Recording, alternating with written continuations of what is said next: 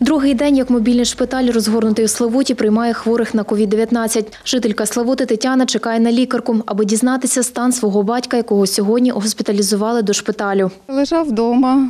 Трохи деякий час була температура, але в нього зазвичай весною є такі проблеми. Ось, але температура не падала. Привезли в п'ятницю сюди в лікарню, зробили швидкий тест, е, сказали ковід, залишили в дитячому відділенні, а сьогодні вже кінцевий прийшов результат, діагностували ковід. Тому переведений сьогодні сюди.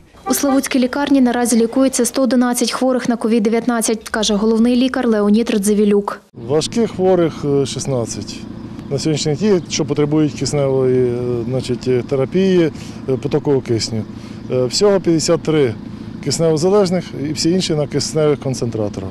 Леонід Радзівелюк додає, станом на сьогодні у мобільному шпиталі є 10 хворих COVID-19 легкої та середньої важкості.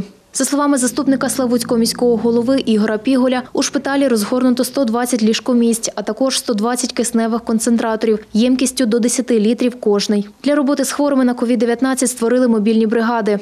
У нас також е, сформована бригада кількості 20 осіб. Це два лікаря і решта це молодший медичний персонал, деякі технічні працівники. Медики забезпечені всім необхідним. Є захисні костюми, є медикаменти.